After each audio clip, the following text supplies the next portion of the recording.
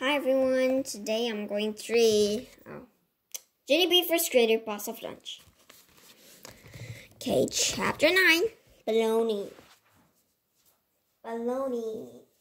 Okay, this is Junie B first grader first grader journal, so I will read to you. Monday, dear first grade journal. Room 1 is still mad at me about Friday. After we went back to the room, Mrs. Gutzman bought bologna sandwich for the children who didn't eat. They were not a hit. I sat at my desk and I ate. Out of my new lunchbox, I had a tasty peanut butter and jelly sandwich. Cause bought lunch is better than bought lunch. And that is not even my fault. Some of the children watched me eat. They made growly face at me. Today, Herbert is my only friend. Also, Lenny and Jose are being reasonable.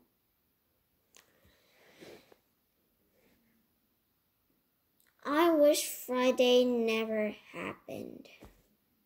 From Junie B, first grader. I peed my eyes at the clock. It was almost 2.50. Just one more hour before I could go home.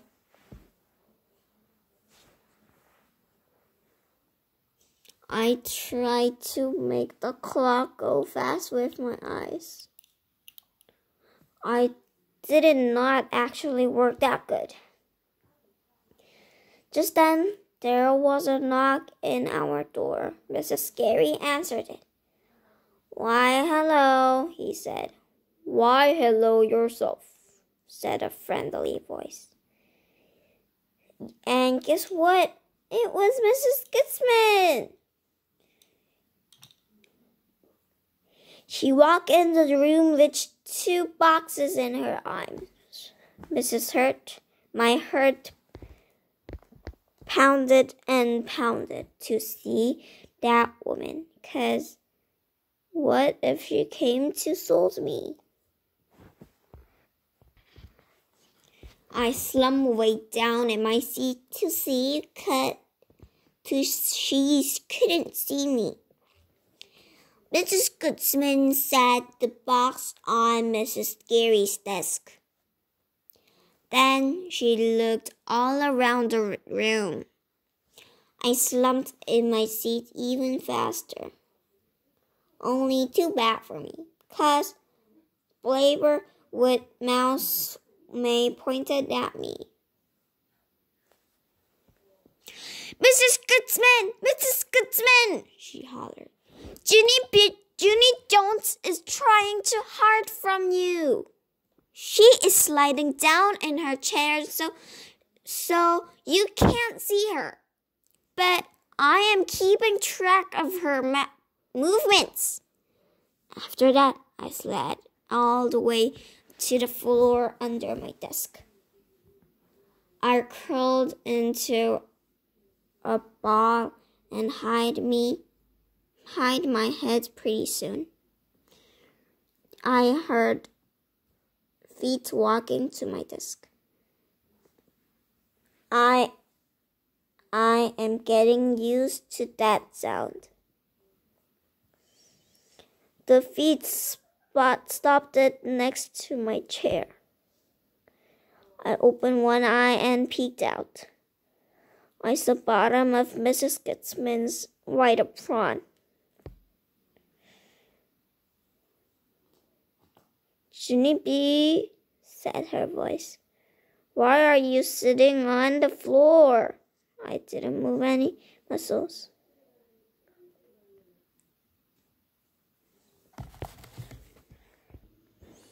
Cause maybe she would still go away, possibly. Junie B said Mrs. Gutzman again. I bought something for your class. Don't don't you want to see what it is? I shook my head real fast. No, thank you, I said.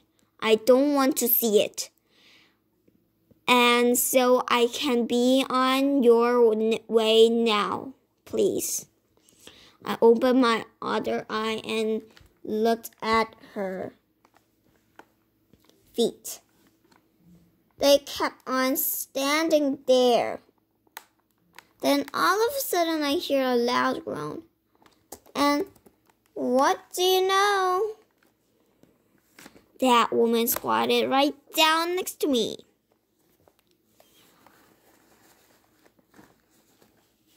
I was shocked to see her. Mrs. Gutzman, I said. What are you doing there, down here?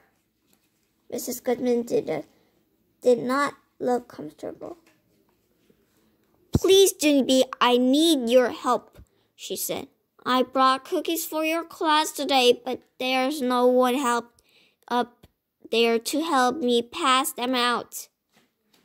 I rolled my eyes back it in my head. Cause that was not even the truth, of course. Yes? There is, Mrs. Gutzman, I said. There's a lot of people up there to help you, Mrs. Goodman shook, shook her head. No, no, no, you don't understand, she said. After that, she reached into her pocket and she pulled out a pair of plastic mitts. I need a real Junie she said. I need someone, someone with experience. Mrs. Gutzman smiled kind of painful. Please, she said. If if if we don't stand soon, I'm going to fall right on my gister. And you'll never get me up. I did a teensy smile. Cause that was a little joke, I believe. Finally, I crawled out of my desk and I helped Mrs. Gutzman stand up. I guess I can help you pass out cookies, I said, kind of quiet. But some of these children are still very mad at me. You know. Mrs. Gutzman held my hand. Yes, well, I think maybe I can fix that, she said. After that, she and me and her walked to the front of room together, and Mrs. Gutzman showed everyone the cookies. Sugar cookies, shout the children. Thank you, Mrs. Gutzman, thank you. Mrs. Gutzman put her hand on my shoulder. Don't thanks, thank me, class, she said. B. Jones is the one who reminded me to pay your you a visit this year.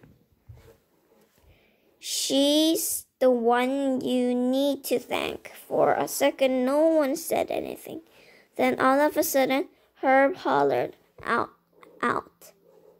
Thank you, Junie B. Jones. And then all of the children hollered, Thank you, too. Thank you, too. Thank you, too. I grinned real big because those words felt happy in my ears. After that, I hurried back to the sink and washed my hands. Then I quickly put on my mitts and ran back. Mrs. Gutzman gave me a thumbs up. Ready to go, Helper? she said. Ready to go, I said back.